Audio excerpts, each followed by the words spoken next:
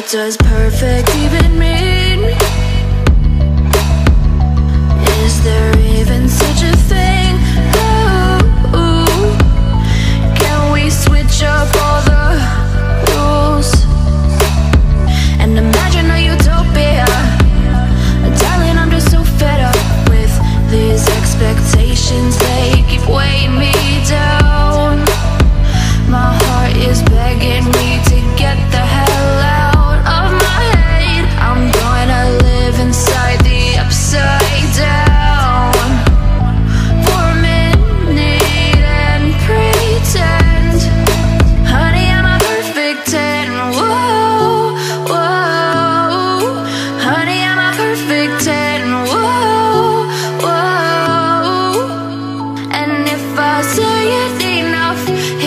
It's ingrained in my head, and I start to.